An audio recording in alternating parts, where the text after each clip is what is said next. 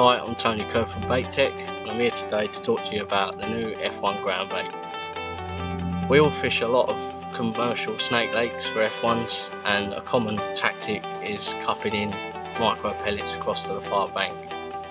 A lot of anglers don't add anything to their pellets but I've been adding a quite dry mix of this ground bait to my soaked 2mm carp and coarse pellets.